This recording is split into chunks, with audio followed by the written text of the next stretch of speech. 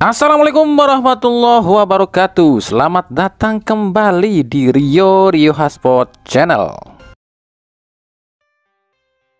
Oke, ini mungkin banyak yang salah persepsi ataupun diperdaya ya oleh akun-akun gosip yang gak bertanggung jawab yakni soal Miss Higlers dan Eliano Regner Kemarin tuh ada yang nanya, Bang bener nggak sih Eliano Regner dan Miss Higlers ini bisa main lawan Australia? Sebab kata akun Anu katanya bisa Fix Eliano Reinders dan juga Messilgers bisa main lawan Australia. Diresmikan sekarang kita akan luruskan ya, Miss Higlers dan Eliano Reitner emang udah datang ke Indonesia dan ikut latihan di timnas Indonesia. Tapi untuk bisa main di timnas saat lawan Australia itu nggak bisa sama sekali lo ya. Bahkan dua pemain ini udah pulang ke Belanda lagi. Nah menurut Sintayong, dua pemain ini tuh paling cepet bisa bela timnas Indonesia itu saat lawan Bahrain. Nah sekarang kita lihat tanggal berapa sih Indonesia lawan Bahrain itu? Indonesia jumpa Bahrain itu tanggal 10 bulan 10 yang artinya kurang lebih satu bulanan lagi itu paling cepet loh ya sebab tergantung dari DPR-nya mensahkan berkas dari Higles dan Eliano karena kan prosesnya gini loh kita urutkan nih proses dari perpindahan kewarganegaraan nih yang pertama berkasnya itu dikirim dulu nih ke presiden buat ditandatangan yang kedua setelah ditandatangan sama presiden baru dibawa ke DPR yang ketiga, kalau DPR udah disetujui, baru deh ambil sumpah WNI. Yang keempat, usai ambil sumpah WNI, itu baru membereskan administrasi, terutama pencabutan berkas dari KNVB Belanda. Dan kelima, baru deh tunggu surat keputusan dari FIFA. Abis itu kalau semuanya udah kelar, baru bisa membela timnas Indonesia. Jadi dari lima tahap ini tuh paling cepat prosesnya itu 1 sampai 2 bulanan baru kelar lo ya. Jadi nanti kalau ada yang bikin video atau bilang Miss Higgles dan Eliano Redner bisa main lawan Australia atau mungkin bilangnya Indonesia dapat tambahan pemain ini Miss Higgles dan Eliano lawan Australia. Nggak usah dipercaya dulu, anggap aja hiburan. Makanya kita di sini belajar sama-sama soal proses naturalisasi. Ini si Eliano sama si Higles ini sih masih dibilang ringan sih prosesnya sebab dua pemain ini tuh memiliki darah Indonesia dan belum pernah main buat timnas Belanda senior. Coba kalau dua pemain ini nggak punya syarat dua tadi, bah itu bisa setahunan prosesnya.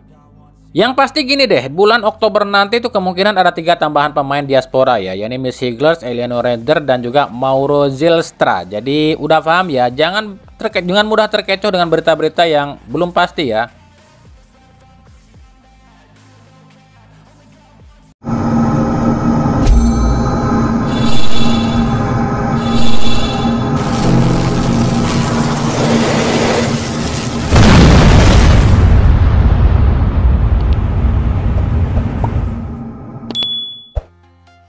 Oke lanjut ya, sebelum kita ke Liga 1, kita ke Liga 2. Kita akan rekap dulu beberapa pertandingan Liga 2 yang udah digelar pada hari Sabtu kemarin ya.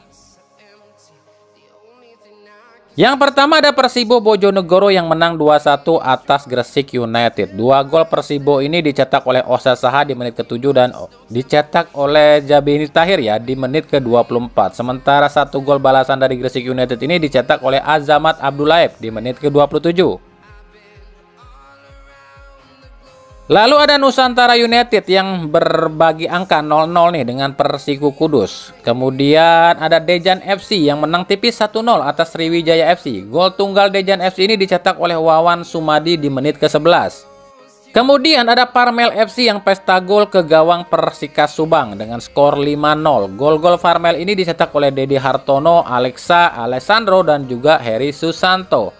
Lalu juga ada PSPS Riau yang menang 3-1 atas Persikabo. Tiga gol PSPS ini dicetak oleh Ilham Patoni, Fitra Ridwan, dan John Mena. Sementara satu gol balasan dari Persikabo dicetak oleh Angga Wahid. Sekarang kita beralih ke Liga 1. Kita mulai dari Persib Bandung. Ini kami baru tahu loh kalau ternyata di situs PT LIB itu nama Milestone 5 ini nggak ada sama sekali loh ya dalam susunan pemain Persib. Silahkan cek aja sendiri kalau memang nggak percaya. Yang pasti ketika kami menceknya di tanggal 8 September ini nama Milestone 5 ini nggak ada loh dalam daftar susunan para pemain Persib. Kami pun agak bingung ya, ini server kami yang error atau emang PT LIB-nya yang belum update. Nah, Milestone 5 sendiri sebenarnya cuma dikontrak tuh satu tahun sama Persib dengan dua opsi sih. Yang pertama opsi perpanjangan dan kedua opsi pelepasan. Jadi Persib ini bisa memperpanjang milestone 5 di akhir kompetisi nanti atau Persib bisa mencopot milestone 5 di pertengahan kompetisi. Nah kira-kira menurut kalian ada yang tahu nggak nih kenapa nih milestone 5 ini nggak terdaftar di PT LIB? Apakah PT LIB-nya terlalu sibuk atau apakah ada yang hal lain nih? Persib sendiri akan segera melakoni pertandingan di ACL 2. Salah satu syarat yang harus dipenuhi adalah Persib itu kudu boga yang namanya direktur teknik. Nah ini ada satu berita di artikel di internet yang bilang Persib ini udah resmi menunjuk Robert Rene Albert sebagai direktur teknik. Kami pribadi nggak bisa jawab kalau soal ini sebab ya Aditya Putra Herawan aja sebagai direktur interimnya Persib Bandung ini nggak bisa nyebutin siapa direktur teknik Persib. Tapi menurut Aditya sih memang kalau kandidat udah ada tapi belum ditentuin. Nah, sekarang dengar sendiri ya ucapan dari Aditya Putra Herawan. Sebenarnya di Tek itu udah jadi long termnya Persib. Ya. Kalau kalian teman kalau teman-teman aware, kita lagi uh, kita punya akademi, kita punya tim satu tim. Jadi kita butuh di Tek itu untuk tidak hanya mendampingi tim senior, tapi juga bikin kurikulum uh, untuk semua timnya di Persib gitu ya. Jadi kalau pertanyaan kita butuh di Tek sangat butuh. Apakah hanya akan dipakai untuk kompetisi? Tentu tidak. Kita akan pakai maksimal di Tek untuk uh, semua akademinya kita, tim satunya kita dan segala macam. Belum lah ya. Sudah dapat kandidat? Ya. Sudah dapat kandidat. Di sisi lain, pelatih Boyan Hodak malah memuji kiper timnas saat ini Martin Pas. Nah, penyebutannya sekarang bukan Martin Paes ya, tapi orang Indonesia sah-sah aja lah. Tapi kalau yang benar itu namanya Martin Pas ya. Menurut Boyan Hodak, di timnas saat ini memang banyak kiper bagus, tapi memang levelnya Martin Pas ini beda di antara tiga kiper lain di timnas. I didn't really watch, but you see the difference goalkeeper. Uh, I saw the highlights. This is different when you have top top European goalkeeper. Uh, yes, uh, boy from Borneo is good. He's quite good, but this small difference is difference. Now the new goalkeeper in, in Indonesian national team make the difference. Haha, gimana coach? Berminat nggak tuh? Lumayan loh, nggak ngurangin slot asing loh kalau Persib ambil Martin Pass tapi ya itu harus berhadapan dengan Sintayong dan netizen Indonesia kalau Persib mau rekrut yang namanya Martin Pass. Yakin sih pasti Persib ini banyak akan mendapat hujatan nih kalau misalnya mengambil atau merekrut Martin Pass karena dianggapnya akan mengganggu ya dari skill atau mungkin kemampuan para pemain timnas itu sendiri lah. Lagian juga Martin Passnya juga belum tentu mau main di Liga Wakanda untuk saat ini Nanti kalau umurnya udah tua, mungkin ya baru mau deh mau di, main di Liga Wakanda. Dari Persija pun sama nih, usai Wak Haji Ragnar memuji pemain Persija yakni Witan dan Rido. Ini banyak banget nih fansnya Persija ini mengharapkan Ragnar ini gabung Persija. Sebelumnya, Ragnar ini memang memuji nih penampilan apik Rizky Ridho dan Witan Sulaiman di laga lawan Arab Saudi. Menurut Ragnar, Witan dan Ridho ini sudah naik level, nggak gugup lagi kayak dulu.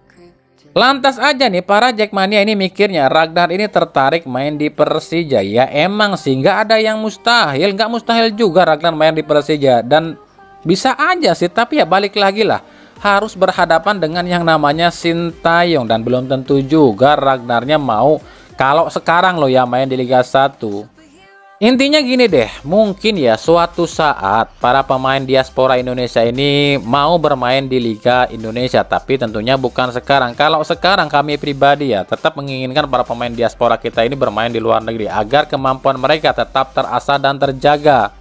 Nanti kalau Liga Indonesia ini udah ada di ranking 2 ASEAN atau 6 Asia dan bisa bersaing lah dan menjanjikan dengan kualitas liga kita, baru kita boleh mengharapkan pemain diaspora kita ini bermain di Liga Indonesia. Untuk saat ini, janganlah jangan terlalu mengambil resiko nantinya malah berbahaya buat timnas juga.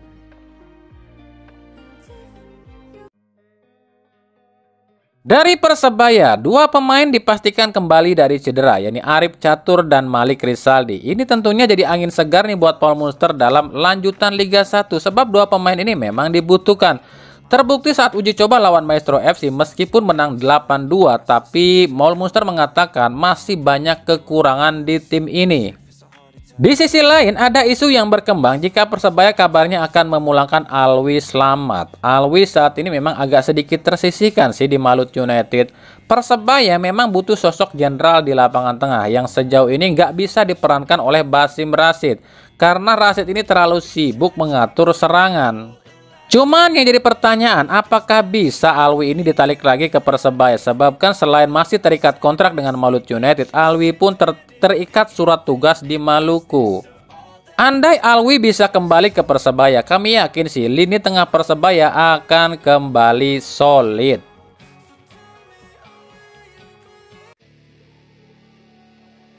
Inilah sanksi Komdis di pekan ketiga Liga 1 2004-2005 lalu. Ya, meskipun ini udah agak sedikit lebih baik sih karena udah mulai sedikit duit atau denda yang dikeluarkan, tapi ya masih ada aja. Sekarang kita cek aja ya. Yang pertama Iran Junior dari Madura United didenda 10 juta dan larangan tiga kali tampil. Pelanggarannya ya karena plak kelakuan yang buruk dan dapatkan kartu merah langsung di laga lawan Persita Tangerang.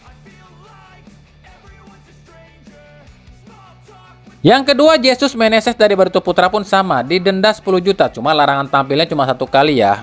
Pelanggarannya kartu merah lawan Persebaya. Yang ketiga, Joel Corneli pelatih Arema, Boyan Hodak dan Igor Tolik dari Persib ini sama-sama dapat teguran keras dari PSSI lantaran protes pada wasit ya. Yang keempat ini yang paling aneh buat kami. Arema cuma didenda 10 juta lantaran dapat 5 kartu kuning. Ini kan aneh, bukannya denda 5 kartu kuning itu 50 juta loh ya. Ini kenapa Arema doang yang dapat denda 10 juta? Kenapa tim lain 50 juta? Kalau nggak percaya silahkan buka situs PT LIB dan cari Komdis PSSI. Nah, di situ terlihat jelas ya, tulisannya itu dendanya cuma 10 juta, bukan 50 juta. Udah paham sekarang kalian?